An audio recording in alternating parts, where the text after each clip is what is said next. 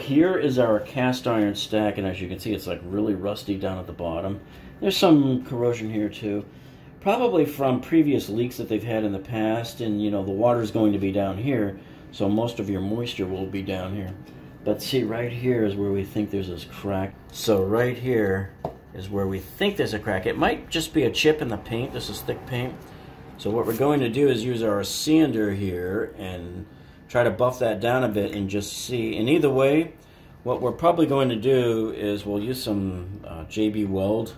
So we use this a lot to, you know, patch up things like that. And this will work pretty good here on plumbing. So it says it works on multiple surfaces. So we'll give this a shot. So we've got the sander here. Let's see how it does. Actually, what we want to do is we're going to hook up our vacuum to this vacuum port right here to try to collect up any of the dust that comes flying out. And you always want to make sure you're wearing eyewear and a mask when you do this. Okay, so yeah, we don't have the connector for this because this is a proprietary DeWalt and we don't use the DeWalt vacuum yet. We're probably going to get one soon. But we're just going to stick our vacuum hose right down in that area so it'll catch anything that gets sanded out there. So here we go.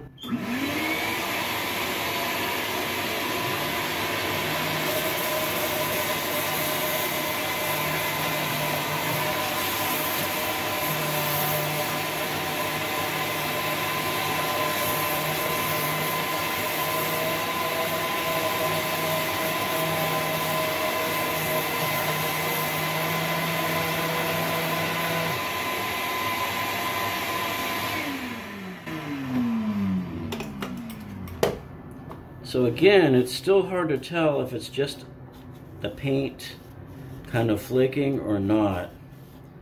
I don't know how much of here we can reach and get to. And we'll try one of our sand nets also, but let me see what I can get with this part.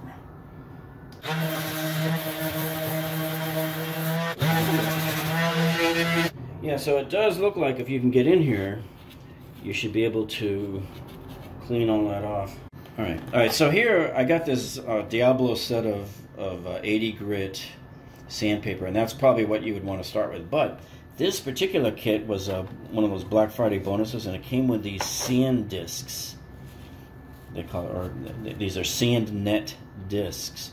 So we're going to try this on there. So here you can kind of fold it up a little bit to give you a little more control over it, and then uh, try to just come in here and sand off some of the corrosion here. So you can see it's working. So we'll put the vacuum on and I'll do it again.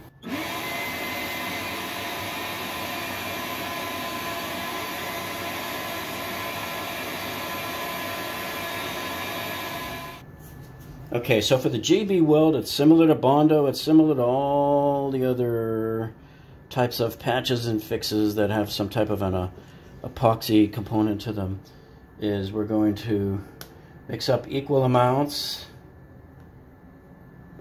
and you just do it on a little surface that you don't ever need again. And I'll put my cap on here. Okay, so now I'm going to mix it up thoroughly. So it should be sort of grayish when I'm done. So you're mixing that white with the black. And you kind of knead it around. Make sure you've gotten all the way through it here. And I'm going to scoop it here and apply it right on the area where the crack is. And then I'm going to try to get it down reasonably flat and smooth.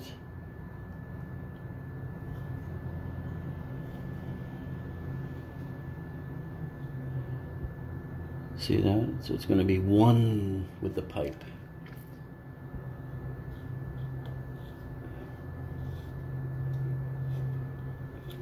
There you have it. So these old cast iron pipes are notorious for developing holes and cracks and leaks, and we don't know how or why. It might be the sewer gases reacting with it. Maybe it's corrosive to it. We just simply don't know.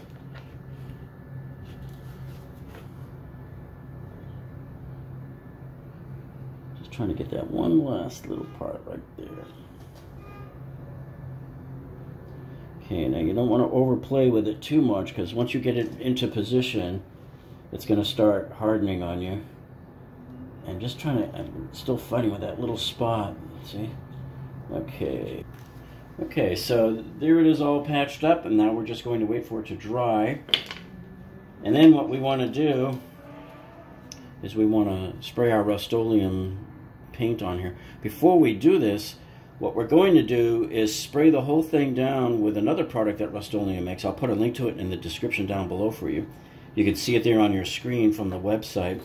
But that this Rust-Oleum, um, this is a, a primer that's also a rust inhibitor. So it will coat this entire cast iron stack right here with a protective coating that will keep any any further rust from happening. And probably even this wouldn't have developed any more than it was right now because there's no leaking going on back here at this time. So, uh, but at least we'll we can seal it up and cover it and protect it, and then we'll put this top coat on here of protective enamel on top of that, and this thing should look pretty brand new by time we're done. Okay, so we just finished the painting process here. So normally the way this works is what you want to do is wait until this is done curing your patch there. And that can be you know anywhere from four to six hours. You can let it dry overnight if you want and cure. So what you what we do then is we've come in and sprayed the the rust inhibitor primer on first and then we came in with the paint. So this is what you're looking at here. We just finished with the paint. So this now actually looks like a brand new cast iron stack everything yep good well, I hope you found this video useful, and if you did, hey, would you do us a favor, please give us a thumbs up down below. That tells us that you like us. And if you haven't subscribed to our channel yet, man, you can see all of the great engineering disasters that we help you get out of, folks. So make sure you come back and you know, subscribe, and then click that little gray bell icon next to it. That tells YouTube to alert you every time we upload a new video, because you don't want to miss one of our videos, folks. Lots of great engineering disasters, lots of great home remodeling videos, we have all sorts of videos for you on remodeling your kitchens. And uh, you can see here we've got videos on remodeling your bathrooms and, and tiling your floors.